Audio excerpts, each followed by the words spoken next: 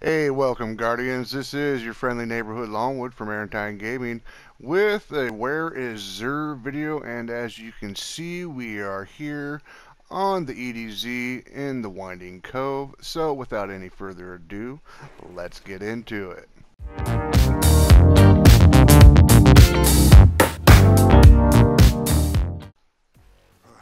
this is why the sent me here. Well, perhaps, maybe, or maybe not, Squiddy. Alright, so first on the list here is the old Wardcliff Coil, also known as the old Dubious Volley back in the day before they came out with it. And uh, this is an oldie but a goodie. Comes with uh, volatile launch, extended magazine, mechanized autoloader, and composite stock.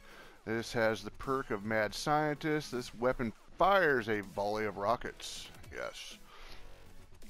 And that's C here. And then next on the list is the old worm, Wormhusk Crown. Yes. Looks kind of worm husky. Yeah. And the perk on this bad boy gives a hunter dodging, gives a small health and shield bump. Very nice. Another oldie but a goodie, the old one-eye mask for the Titan. Its perk has highlights the enemy who dare to damage you. Track down and destroy your enemy for an overshield. Very shiny.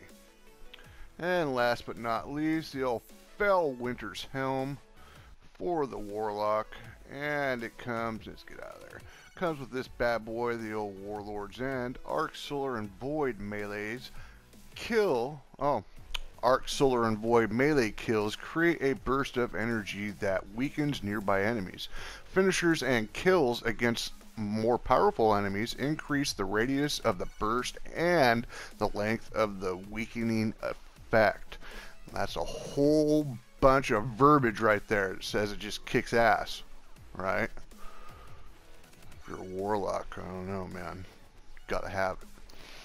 And as always, don't forget about these old jammies here, the old Five of Swords, and these, the initiation of the Nine for shinies from the Nine. And let's see what Longwood gets from, uh, ooh, I'm going to spend all my shards. Um, I don't want to do it. I'm not going to do it. Can't make me do it. Alright. Uh, I hope you liked this video. I know it's been a while since I've done any Xur content, or actually any D2 content, but I'm going to make that change, especially with the new uh, Beyond Light that's coming out. I am actually excited about playing it. If you know anything about Longwood, I haven't been excited about anything from D2 for quite some time. Alright, well, I hope you liked this video. Expect more. This has been your friendly neighborhood Longwood from Arrantide Gaming. Wishing you all happy hunting.